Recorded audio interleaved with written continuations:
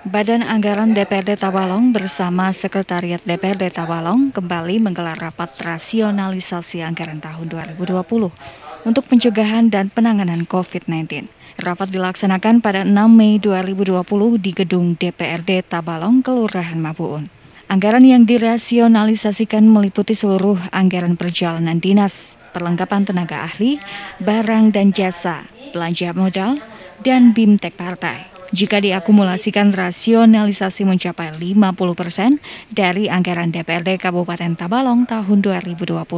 Ketua DPRD Tabalong Mustafa menjelaskan rasionalisasi anggaran diupayakan sesuai arahan kementerian, yaitu sebanyak 50 persen dari anggaran. Rasionalisasi ini memotong semua perjalanan dinas anggota dewan hingga akhir tahun 2020.